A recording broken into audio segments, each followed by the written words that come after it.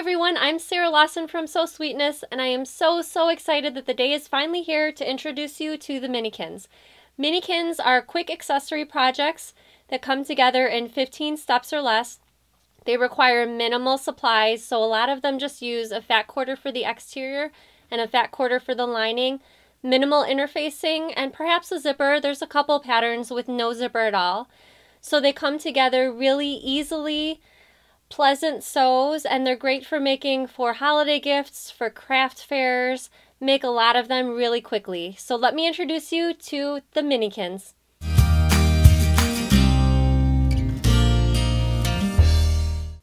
The Sidewinder pouch is probably my favorite of the bunch and it comes in three different sizes as you can see. Um, it uses non-directional prints because the fabric wraps around from one end to the other.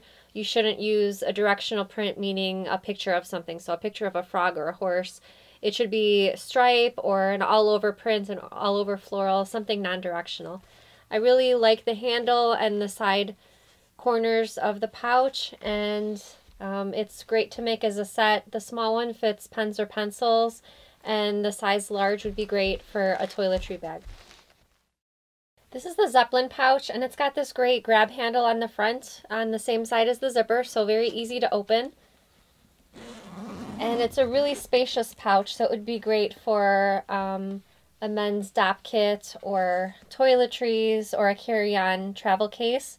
The nice thing about this pouch is that it's sort of origamis together. So there's just the front and back portion and the handle and that's it. So the sides and the bottom cleverly come together through the magic of sewing. The cotton candy pouches are a great way to use your favorite large scale prints. So I'm a really big fan of using focal fabrics and as you can see they fit nicely on the front of the pouches. The nice thing about the candy cotton candy pouch is that even though it has a slimlined look, the zipper opens the inside of the pouch wide so you can pack all of your essentials inside and then it zips back up and has this really beautiful shape. There's only front portions of the bag and back and then the side panel so it comes together really quickly and that top zipper is really easy to put in. This is the Bellevue pouch and as you can see it comes in three different sizes. It's probably the quickest project out of the 12 minikins to put together because it's just the front and the back piece, um, fabric pieces for the zipper tabs, and then just the zipper, and that's it. So it comes together really quick.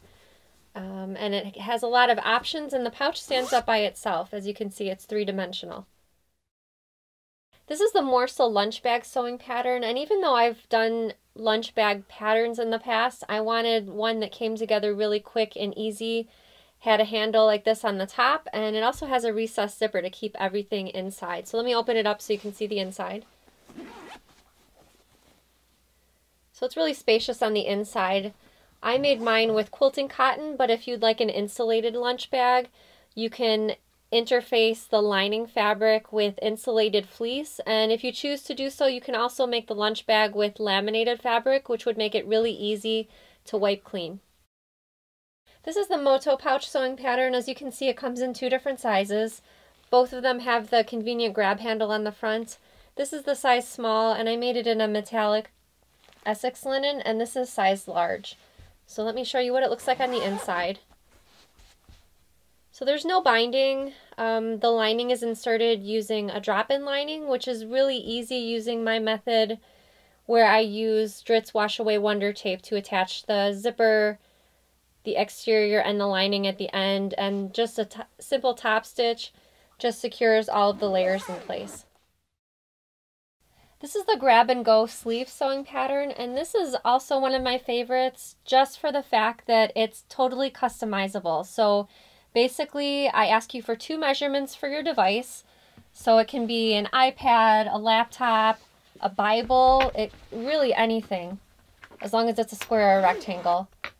And using the two measurements, so the length by the height of the object, I walk you through how to create this for your specific device. So I made this particular sleeve for my mom's laptop. I just took the measurements Again, it's just going to be the length times the height, and the pattern walks you through the entire process. So your device will be safe inside this handled sleeve. There's foam interfacing as well as Peltex, so it's it's really sturdy and this is what it looks like on the inside. This is the binary pouch sewing pattern. It only comes in the one size, but it's got some really interesting features on it. I used a bit of non-fraying fabric as a zipper pull, so this is suede cording, but you can use ribbon, a scrap of leather, whatever you want as long as it doesn't fray. And this is the only minikin that uses a bit of hardware. So this particular pouch has a magnetic snap on the flap to keep everything secure. And as you can see, even though there's the two zippers, there's just the one inner compartment. There's no binding on this one. Everything comes together really nicely just by sewing everything right sides together. And this is probably my second favorite pouch behind the Sidewinder pouches. I just think it's got some really interesting details on it, and it's a good size too. This is the I Spy pouch pattern, and at nine steps, it's the quickest sew out of all of the projects. This is size small, and they all have a clear vinyl window in the front, and the clear vinyl is really easy to work with. You don't need any extra steps. We'll just be sandwiching the vinyl in between two layers of fabric, so your sewing machine will handle it with ease. So I'm using this size small to store my Aurifil threads. Here's medium, which is great for a rotary cutter and scissors. That's about the, the length of this particular pouch. And here's size large, and I've got a, got a set of markers in size large. The desktop cubes are, as the name implies, perfect for holding things on your desktop. So size small is great for pens or pencils. Here I've got the size medium with my rotary cutter and scissors. And here's the size large. So this is a really good size. If you're a quilter, this particular size will hold three jelly rolls. If you're a knitter, mine can hit fit a couple skeins of yarn. So these have a lot of uses. This is the Jet Set cinch bag, and even though it only comes in one size, it's very, very useful. So it's a very structured drawstring bag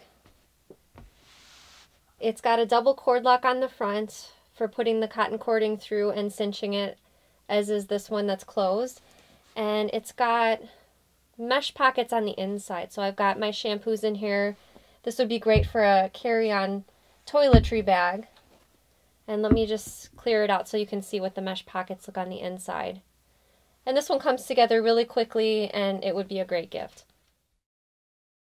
This is the trifle tumbler sewing pattern. So this is a classic round barrel shape.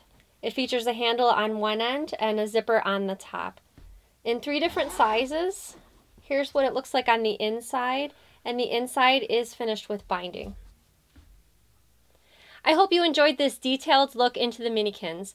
Minikins are great for any skill level, beginning bag makers to advanced bag makers. I think everyone will really appreciate how fast and easy these come together. So come sew along with me.